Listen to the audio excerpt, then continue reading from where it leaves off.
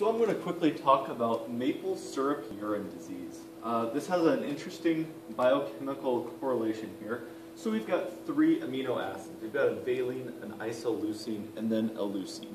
So what is unique about each of these three? Well, they all have branched chains. So these are all the branched chain amino acids.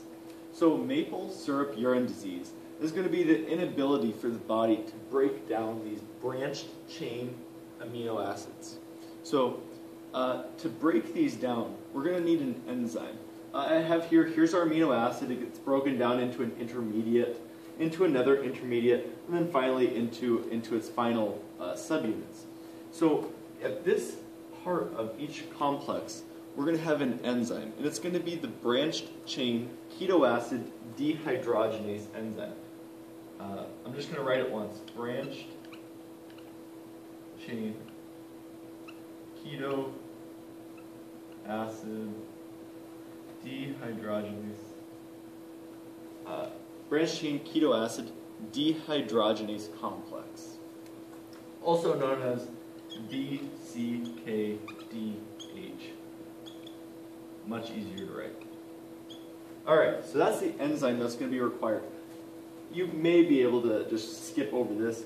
Valine is going to be broken down by this BCKDH enzyme, and that's going to result in a propionyl-CoA. Valine gets broken down uh, into propionyl-CoA, and that propionyl-CoA is then going to be used by the body in other pathways. Isoleucine, on the other hand, is also going to be broken down by this enzyme. However, it gets chopped into different products. And the products are going to be acetyl-CoA and then also propionyl-CoA. And, uh, and then finally, we've got leucine. Leucine, I saved for last.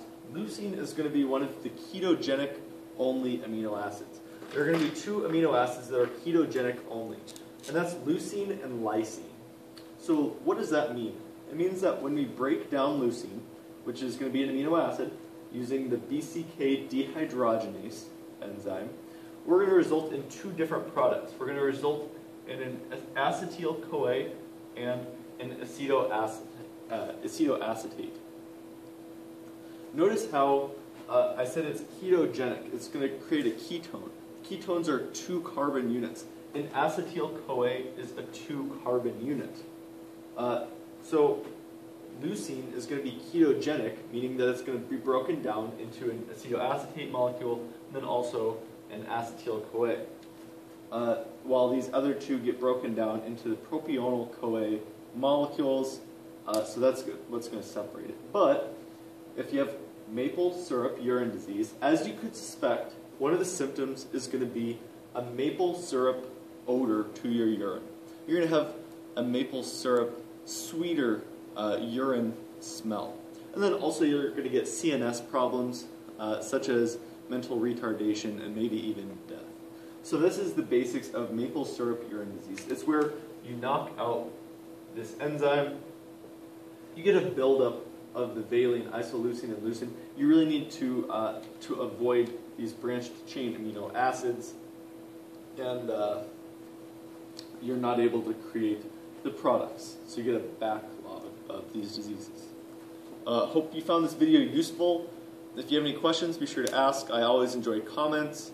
Uh, otherwise, please like and please subscribe. Thank you very much.